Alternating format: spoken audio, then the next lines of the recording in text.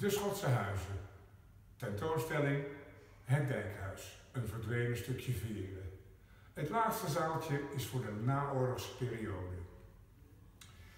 In februari 1953 is er de ramp die leidt tot het Deltaplan.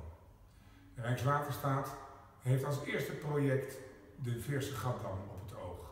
Daarvoor is een werkhaven nodig en die wordt aangelegd precies op de plek waar het dijkhuis stond. Het is een groot prestigeobject en vele kunstenaars krijgen dan ook de opdracht om dat proces vast te leggen. Als de dijk er eenmaal is, ligt er een kant-en-klare nieuwe haven die al snel wordt gebruikt als jachthaven door het snel opkomende watersporttourisme in de nieuwe welvaart. Die jachthaven ligt er nog steeds.